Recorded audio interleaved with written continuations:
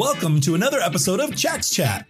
Join Chad Chelius and me, Dax Castro, where each week we wax poetic about document accessibility topics, tips, and the struggle of remediation and compliance. So sit back, grab your favorite mug of whatever, and let's get started. Welcome, everyone.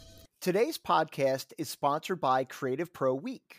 The Creative Pro Week conference is in Phoenix, Arizona this year and is on June 5th through the 9th. And it's an amazing conference for design professionals. And this year also includes some accessibility sessions that Dax and I will be presenting. And if you use the code CPNCAD, you'll get $100 off any multi day pass. So head on over to creativeproweek.com for more information. My name is Chad Chelius. I'm an Adobe certified instructor, as well as director of training solutions and principal at Chax Training and Consulting. And my name is Dax Castro. I am Director of Media Productions here at Chax Training Consulting. And Chad and I are both certified as accessible document specialists. And if you'd like your accessible document specialist certification, head on over to accessibilityassociation.org slash certifications and learn more about how you can get your certification. It's a really great way to show um, that you know what you know and that you you know, that you've got the chops to do it. Uh, I've we're finding that a lot more employers are starting to list ADS as part of the requirements for jobs that are related to uh, accessibility remediation and that. So definitely definitely worthwhile yeah absolutely mm-hmm. yeah but more and more of the the job postings that i'm seeing are including like ads and uh sometimes they'll list CPACC but yep. uh, those are typically not mm-hmm. document specific anyway so today's topic i figured we'd talk a bit about some of the most common things that first time remediators are encountering, right? What are those errors that everybody we see over and over again on the message board? Almost always the message thread starts with I'm new to accessibility, but I can't figure out why dot dot dot. Right? Yep. Yep. And and you know, you, you have to be careful because people's first approach is to Google it. Right. You know, they, will go to mm-hmm. their search engine, they'll, they'll do a search on it, you know, how do I XYZ? And unfortunately, as we've talked about before, Dax, there's a lot of misinformation out there. You know, you you you really got to be careful what you what rabbit hole you go down because uh you, you know we, we've gotten messages from people and, and they're like, well, I exported a PDF from InDesign and then I run auto tag on the file. Right. And you know, you and I are like, you know what I mean? Like, I'm like, no. yeah. Um. So, so you know, and, and, it's just because that you know they they were reading an article and somebody said, yeah, run auto tag and and that'll that'll take care of your problem. Eh, obviously, that's that's not the case. So, um, you know, to your point, Dax, um, you, you know, we do get a lot of posts on, the forum. We, we get a lot of emails, LinkedIn messages where people are like, hey, I'm just getting started, and XYZ. Right. Yeah. So, well, you so, know, one of the ones that I see a lot of people um, uh, uh, say is, you know, they come up with, well, accessible font size right what is the what is the the the size of access uh, uh for accessibility and and almost always i hear 12 point type single spaced and i'm like where are they getting this information from in fact most of the time it comes from the national federation for the blind uh, they have uh, their guidelines and preferences when sending uh, communications to their constituents. Um, for people with low vision, they recommend 12 point type but there's no such thing as an accessible accessibility requirement for font size. Now, as an organization, your organization may choose, you know, ours as uh, the, the organizations that I belong to in the past have said 11 point is the smallest and then nine point for footnotes. But some people say eight point for footnotes and, um, you know, but but there really is no requirement right in in WCAG or uh, the other way people say it there's no ADA requirement for font size right yeah yeah yeah yeah and I mean you know it, and again you know it's it's a it's a term people have grown to use, right? You know, I mean, even my clients use that. They're, they're like, okay, this is ready for ADA. I mean, there, there's nothing in ADA about digital document accessibility, right? Right. You know what I mean? That it doesn't exist. But but kind of getting back to what you said, like it is a bit surprising, isn't it, that there is no guidance on minimum font size for a document, right? True. I mean, it, I Mhm. think it kind of would make sense. Although it, I, I think the reason why WCAG does not include it is is because it's just so so wide open, right? I Oh. mean, there's really no, you know, like okay, if you use 12 point, but yeah, use 12 point, but use Times Roman, Right. not probably not the best approach, right? So, um, so I, I do think it is a good idea to have a, a intercompany standard, right? I think it's a good idea to say, hey, we we, we believe that you know 11 point minimum is what you should be using uh, for for your products, but um, you know that is going to be helping the group of people who are who are low vision right? I mean that that's who that is assisting because somebody using a screen reader, it could be one point type and it's going to read the same as 12 point type. Well, right? because So- it's voiced, right? Yeah. Exactly. So so the the benefit of having a requirement for minimum font size is really going to be benefiting low vision users, and um, you know I I- do think it's it's a good idea to you know uh, I I used to get a magazine. It's actually a surfing magazine, hmm and I I swear everything was set in nine point type Yeah. right and and i mean i'm just a you know i'm a sighted user but i do now wear glasses and i could not read that without the assistance of my glasses like i literally could not read any any of that that content it was just so so tiny. So now again that their market was a very young group of people right? They're they're, they're surfers in their early 20s who have have 20 20 vision no problem True. right?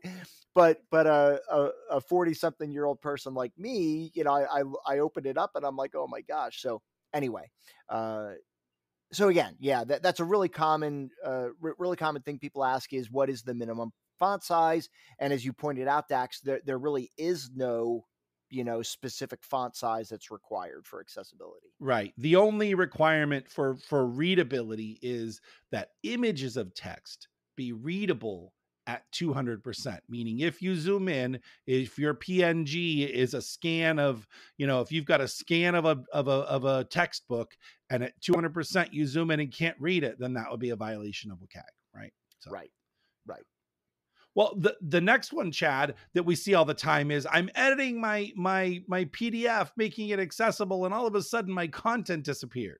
Right? Oh yeah, yep. That that's a, a, really common one, and that typically occurs when you go into your content pane and start manipulating items in the content pane, right? And the well, we typically do that, right? So so the typical reason why you do that is to fix your reading order Right. right? And and I think we're going to get to that a little bit later. But um, the the the problem with that is that, that yes, you can fix the reading order. The problem, however, is that the content pane is also the stacking order of content visually in the document. Right. It's basically your layers, right? Yeah, yep, yeah. Bring to front, send to back. You could view it as your layers. You could view it as your stacking order. Uh, but but but essentially, what often happens is you'll say, "Oh, I want this to be read first, and you move it, and then it just disappears. Right. Really, what happens is there's typically a a shape behind that text, usually like a filled, you know, a, a filled color or something like that. And as you adjust the the the movement uh, of the item in the content pane, it sends it behind that shape. Gotcha. So you you have to be aware of it is all. And and listen, I've had people start over from scratch when that happens. oh yeah. and yeah and and the reality is it's not the end of the world all you got to do is find that shape and then send it behind the text Yep. right I And- usually and just that can fix it And in the content panel, it's confusing even more because the top of the list, the very first item in that list, is the back and the bottom is the front. So typically, what I do is if I've got a sidebar that disappeared, I'll go hunt for that background color that's on the sidebar, and then I'll move that item to the top of the list in my content panel. Now, as long yeah. as it doesn't overlap another shape, it'll mm-hmm. always just put it in the back. I don't care where it goes. I just want it farther back than my text is in that stacking order. So absolutely.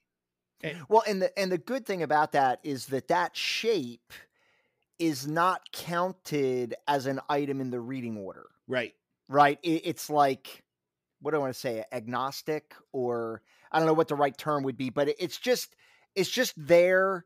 It's not included in the reading order because it's not tagged. Right. And therefore you could do whatever you want with it.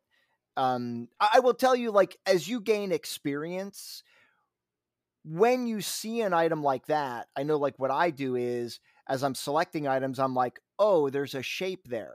Yep. And I'll make sure I click on the shape as well when I move it. That yeah, way it all sure. moves, you know, in in conjunction with one another. It just it it makes it a little bit easier, right? Sure. It's one less thing that you have to deal with later on. As we say, it's more semantic. You know, and actually, that's a good point to bring up for people who are new to remediation. There's this word we throw around all the time semantic semantic markup semantic layout it's the the tag the tag is a semantic tag semantic is really just a fancy way of saying that it's correct that it's program, you know, from a programming standpoint, it is programmatically correct, right? Yeah, or, or that it's, uh, I mean, I think this falls under uh, info and relationship stacks, right? You know, like semantic markup is effectively info and relationships. You know, it's it's basically tagged as what as what it is, right? Um, and and it's structured as what it is, right? right. So Right. Yeah. Well, and and you know, uh, usually the terms it says programmatically determined, right, is kind of the thing you see in a lot of the WCAG principles, and that just means I can look at the code and know that that code is appropriately the right code for what's being displayed on the page, right? Yeah. Um, yeah. Right. So we talked a little bit about reading order, Chad, right? The the reading order is another one we see is the reading order messed up my tags tree. I'm setting the reading order and I spent all this time working on my tags and I move something in the reading order and now my tags are all messed up. Oh, uh, yes. Yes. And and so it and it boy, we're, we're, we're, we just went down a rabbit hole, didn't we? Right. So like like a lot of people will focus on the reading order first because right. logically it makes sense. Like when you see a panel that says reading order, yep, and you're like, "Oh, that's the order that I need to make sure is correct." And right. and they're not wrong per se. However, as we as you and I as we all know, JAWS and NVDA actually use the tag order and not the reading order, right? Right. But and there again, is... I'm not saying yeah, I'm not saying the reading order is not important, just saying that that they go to the reading order first, thinking that that's the be all end all. Right? Well, and and the confusion is is that the the uh, evolution of what it means to be an accessible PDF has happened over time. And in sure. the beginning, it, the only order was the read order. That's all there was. There weren't tags. And so um, older programs still use the reading order. In fact, Acrobat, we talked about this on one of our last podcast episodes. Acrobat's reflow still uses the reading order even within its own program, right? Yeah. And, yep.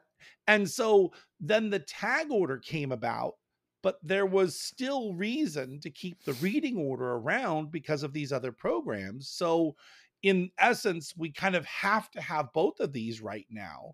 And maybe in the future sometime they'll they'll do away with the reading order and have it just yeah. be automatically assigned based on the tag order, which uh, Adobe, please someday do that. um, but you know, but it, but it is that tag order as you say.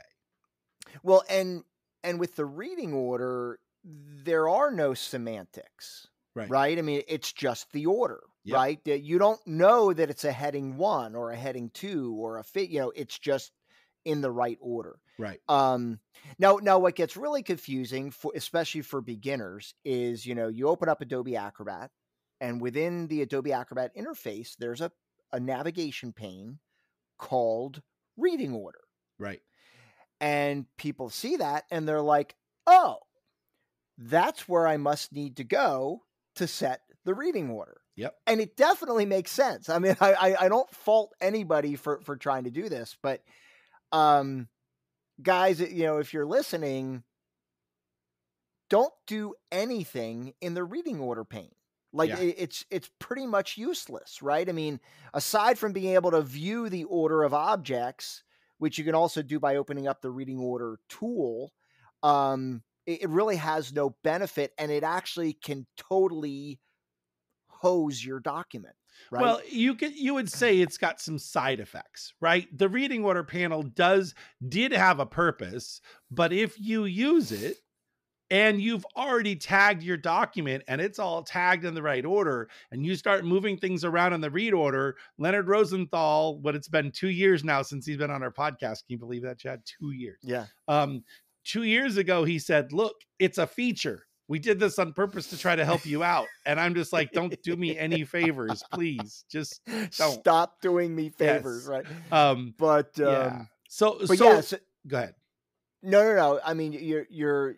I think we're we're both about to say the same thing. I mean, it's if you if you have fixed the tag order and the tags in your document, and you then go into the reading order pane and start adjusting the reading order, it will totally screw up your tag structure. Yeah. I mean, hundred percent.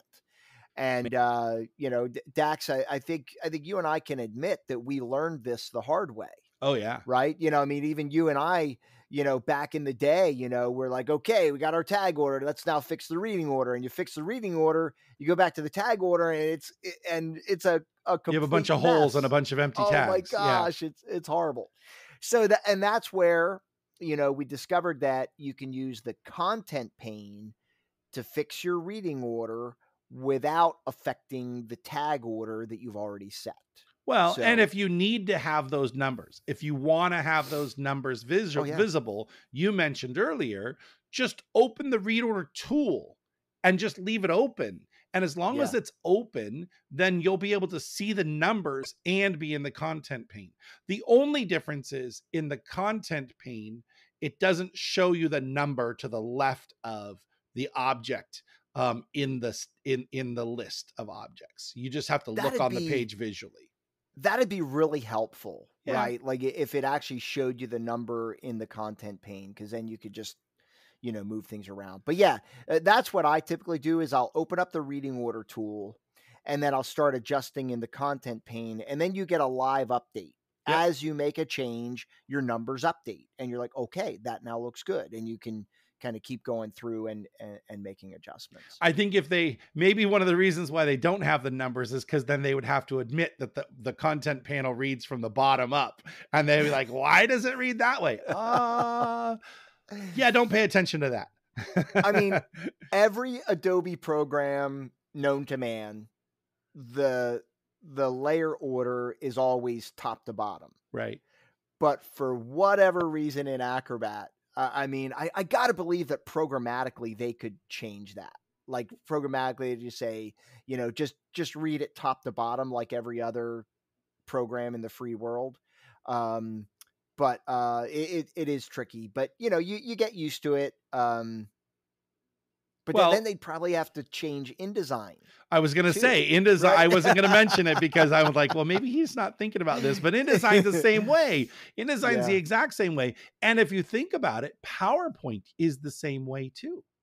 The con- the, the selection pane is bottom up. Uh, the the Yep. first item is at the bottom. Only the new reading order pane, which is only available for certain versions of uh, of PowerPoint, um, does it actually show you the numbers? Reads top down. It's really nice panel the way they've got it set up. Um, Yeah. So yeah. So the the other thing that let's moving on, right? So the next thing that we hear a lot is that I have I'm getting these untagged annotations And I've got Mm. a, a- and usually our first question is, do you have a link in your header or footer? Right, Chad? Yep. Yep. Yeah, hundred percent. Um, you know, so the the error, right? Uh, untagged annotations is the result of you having a link in your document that is not attached to content. Yep. Right. So, in order for a link to function properly, um, the the you, you have a link tag, and then the textual content for the link is inside of that link tag. Yeah. And the you you can get this problem one of two ways. If you add a hyperlink in Acrobat by using the drag and drop a rectangle, Uh-huh. that is going to give you an untagged annotation because it's not connected to anything. Right. It's just coordinates on the page. Exactly. And and so, you know, if you're curious, the better approach is in Acrobat, uh, use your selection tool, the black arrow tool, select the text that you want to become the link, and then right click on that and choose create link. Yep. And that will take your selected text, put it inside of the link tag, and and and everybody's happy. Um, the other thing that causes that problem is it's a common thing that happens inside of Adobe InDesign because people will put text on a master page and then make that text a hyperlink. Yep. And People do it in Word too. They'll put it in the header footer right, and and you'll get the same thing. The the parent page in InDesign is interesting. I see a lot of people do the they they want a um, return to TOC or return to index, or they'll have uh they put an entire menu up inside the um, the header because they're trying to make uh, Acrobat work more like a web page than a PDF. right, right.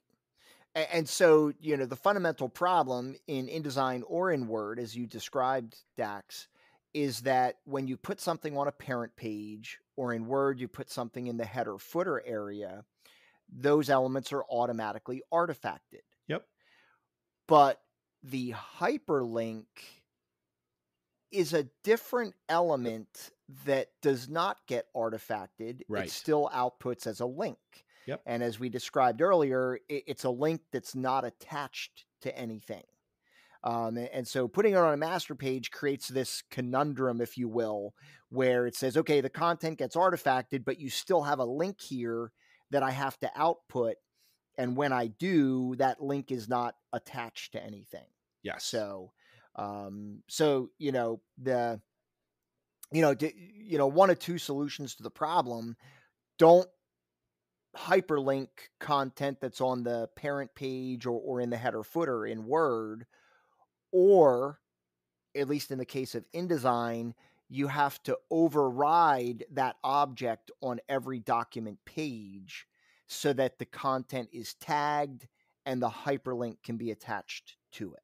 Right. And there's a couple of scripts. Keith Gilbert has a script. There's a couple of free scripts out there inside InDesign. You can actually, if all you have, if you want to override everything that's on the header footer, you can use override all master all, all parent page items and and that solves it as well. But you have to do that. You have to remember to do that as a last step, right? Save out a copy Absolutely. and all of that. So it's it can be something that gets overlooked.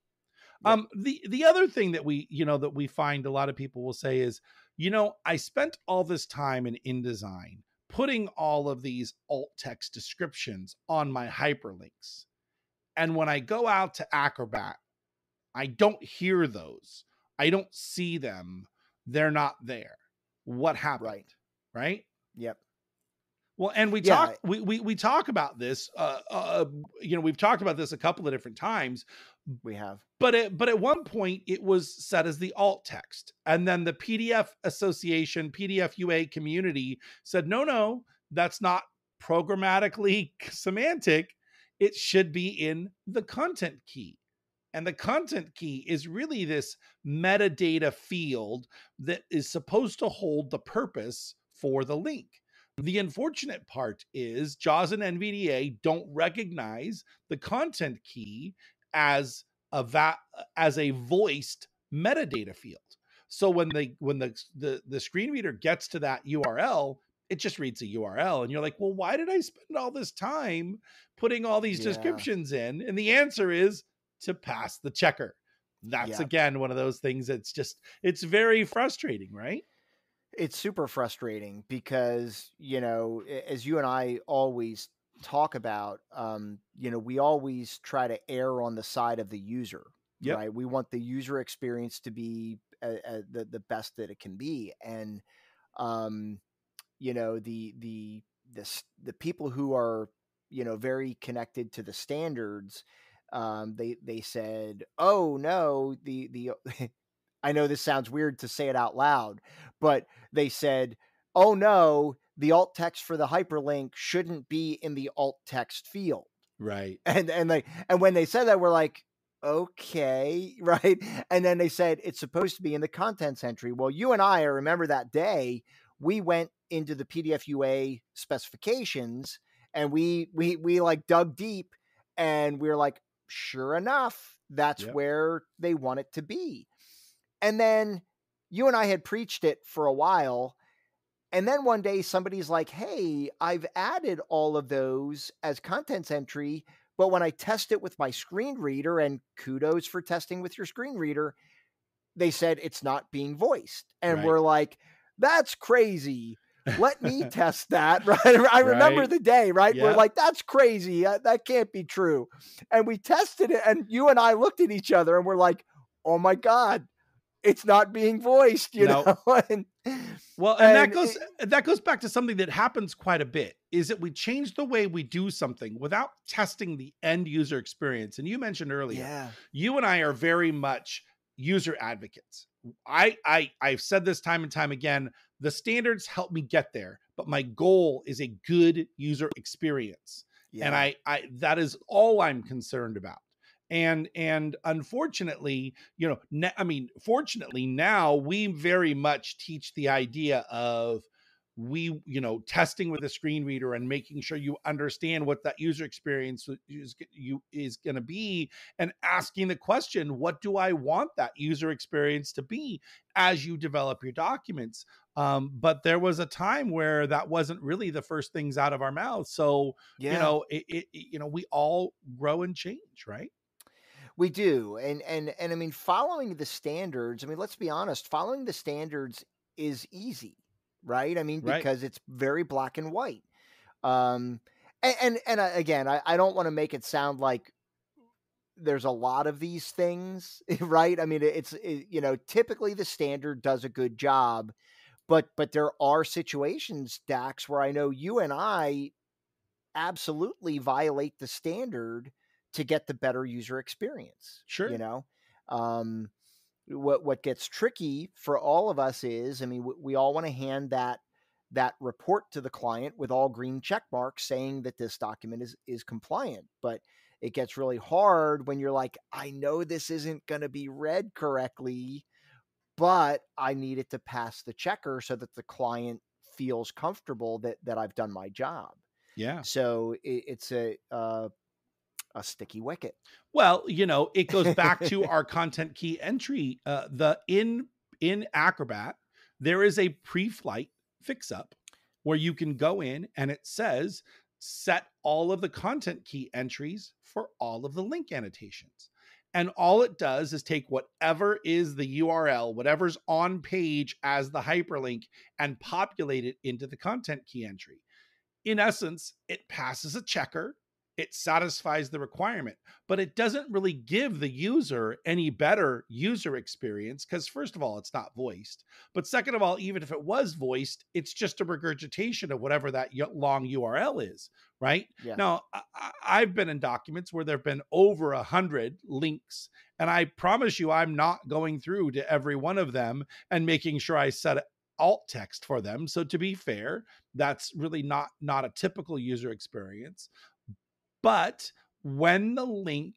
cannot be determined based on content in the sentence or link uh, hints within the actual description, you know, download our earnings report is the link, right? If those two things cannot be determined, then really you should be setting alt text for your hyperlinks. It's just something that I think a lot of people, you know, when we do accessibility at the end and you've got 150 of those, it's a lot easier to run the fix up and get past the checker. Well, and you know, a lot of times, you know, I know um, I've worked with a lot of documents where they will have what I call implicit hyperlinks, right? Where it's it's like the hyperlink is spelled out, right? And and and, and it's often like you know two lines. oh yeah, I mean it, it's it's like you know www.example.com slash x two five nine seven three two four you know whatever, and they it's interesting because they do that because they also print the document. Sure. Right. And and yeah. so for somebody who's reading this on paper and they want to be able to get to that hyperlink, if they want to, they could type in that link. Hopefully you don't make a mistake and and get to that URL. Now now you and I have said multiple times like, you know, Bitly is a great alternative to that because it shortens it considerably. Right. I have encountered clients who don't allow bit.ly links. Yeah, because they don't want it to be obfuscated. They want the URL to be visible, the entire words, all of it. And I will say, if you give me a URL that's, you know, 150 characters, I'm just Googling it. I'm just right. going to Google a couple of words from it and and get the link that way. I am not typing in all that text. So, you know, I get it from a process standpoint and from a legalistic standpoint, but the reality is no one's typing though that, you know, 150 character URL that's that's just not not Yeah, it, it's not perfect and there's not a perfect solution, but yeah.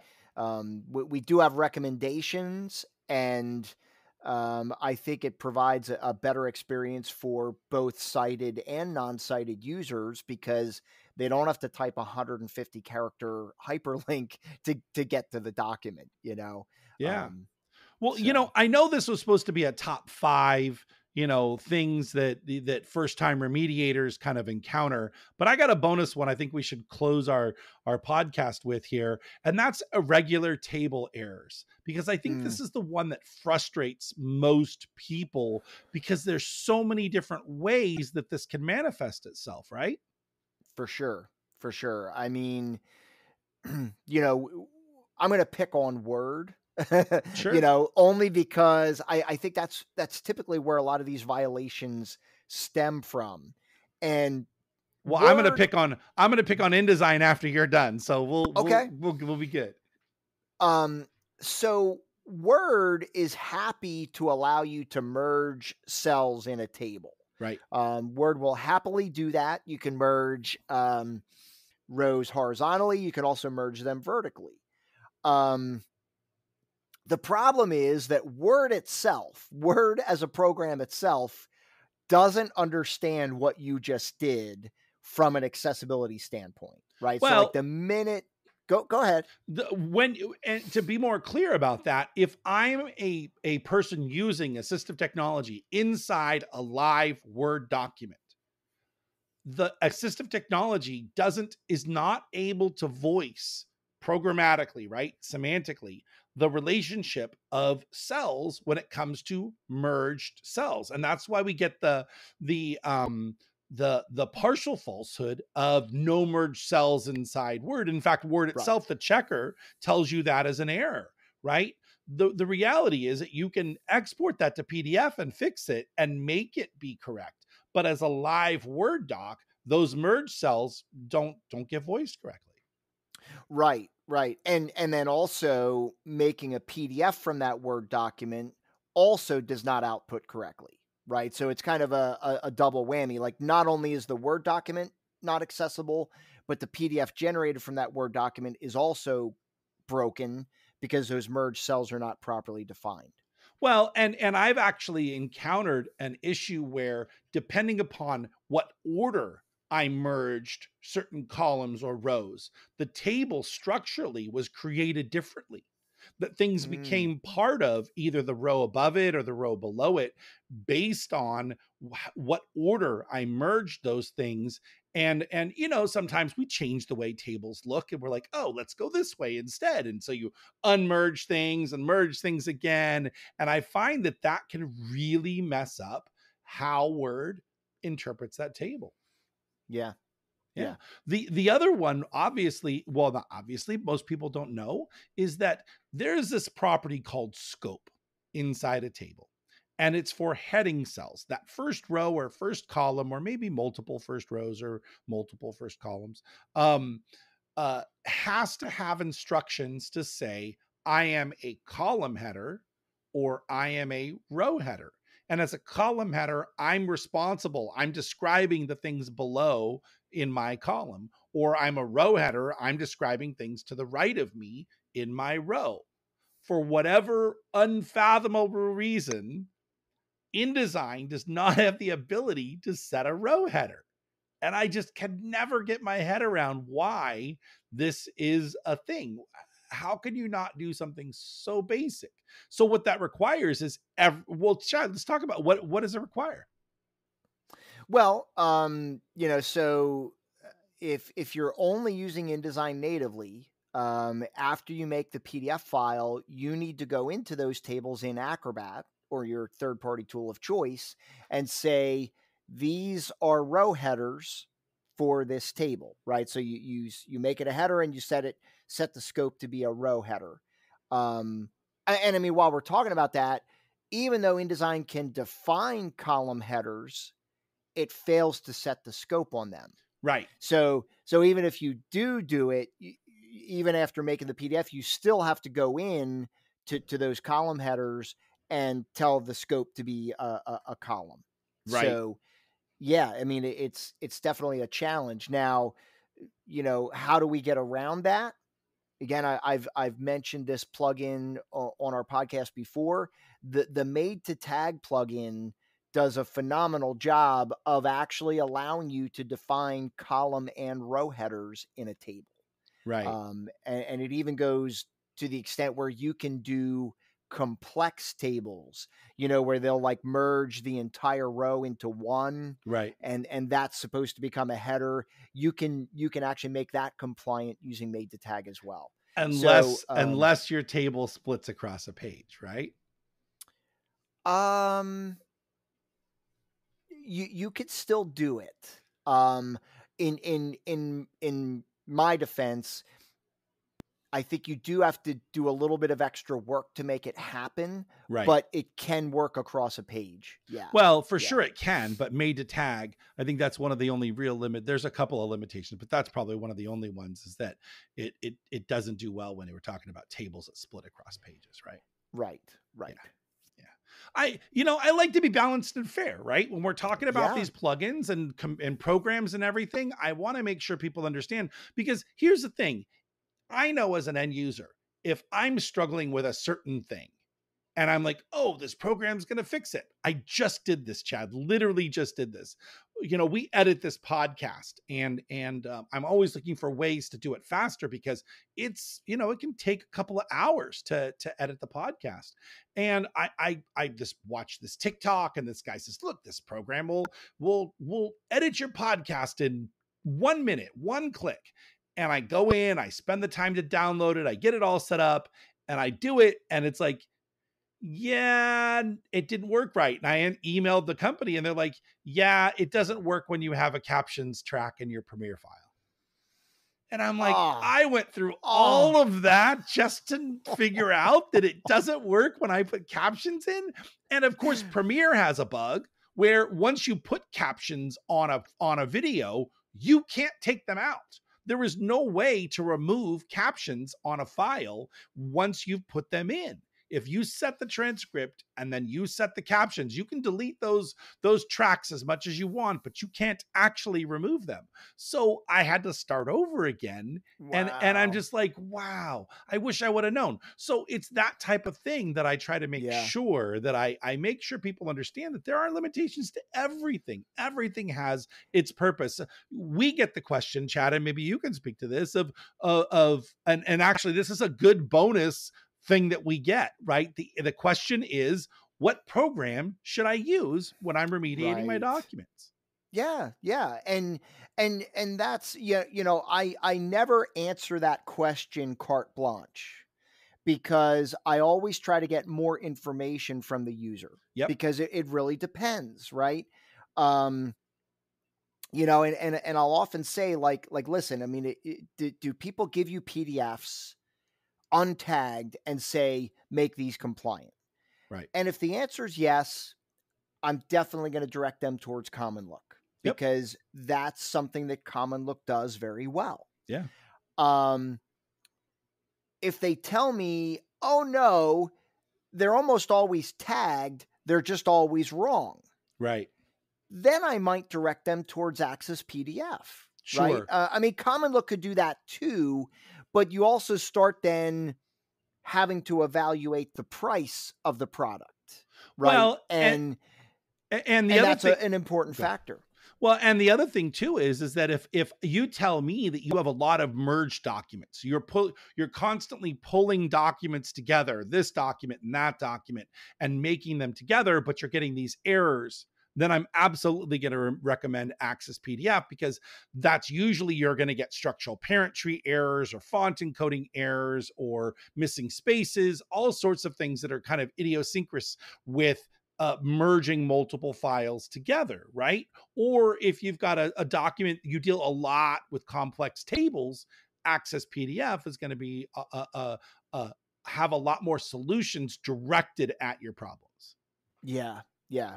So, like I said, I, I, I like you and I try to be very unbiased, right? I right. mean, we, uh, I, I like, I like a lot of products, yep. right? And and and I'm, uh, you know, again, like you know, um, I want to recommend the best product for a user's situation. Yeah. And so, like I said, very seldom do I just say, "Oh, just get this," you know. Right. I, I like to get more information, you know, and I like to hear them tell me what their workflow is like, what their, you know, and, and if they tell me every one of their files starts in InDesign, then I'm recommending MadeToTag. Absolutely. Because that is a you know that that is a, a game changer, you know, and or if it, every it one of, of their files are are made in Word, I'm absolutely going to recommend axesWord because as a group, large government organizations, you know, when when you all when you're getting a hundred PDFs from people, all of them making them on their own, all from their own computers, all inside Word, there is nothing better than just telling them, look, instead of hitting save as PDF, use save as access PDF, axesWord yeah. PDF, right? And yeah. that's going to give you a mostly or all uh, all the way compliant file without them really having to know much of anything. Absolutely. Yeah. yeah. It, it, goes back to uh, one, one of our podcast guests was Jeremy Seta yep. from the North Idaho College. And he talked about uh, in Brazilian Jiu Jitsu, if you can improve your position by 1%, yep. you're now doing better. Right? right. And, and that's really what these third party tools do for us. Right. I mean, yeah. sure, natively we can get to here, but with a third party product, if I can get to here, that's that, that that's that much less work I need to do when I'm making my, my document compliant and and for a lot of us, it really is all about saving time and saving energy. So, yeah. Yeah. Well, I hope that everybody got some really great uh you know information on this this episode of our podcast. Uh you know, these are the top what did we get to? 6 or 7. Uh yeah. we started with 5